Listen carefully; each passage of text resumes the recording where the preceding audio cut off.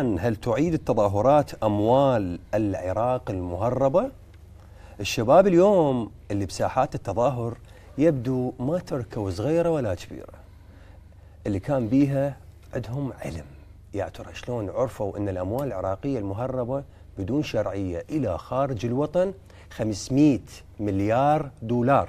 أي نعم الرقم صادم لكن هاي هي هاي الحقيقة عفوا هاي الحقيقة بهاي الأموال وعددها المهربة.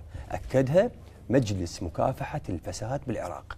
الأموال المهربة اللي يحاول العراق أن يرجعها لخزينة الدولة هي أكثر من نصف تريليون دول دولار أمريكي وهذا الرقم يعادل موازنات العراق لمدة ثمان سنوات على الأقل.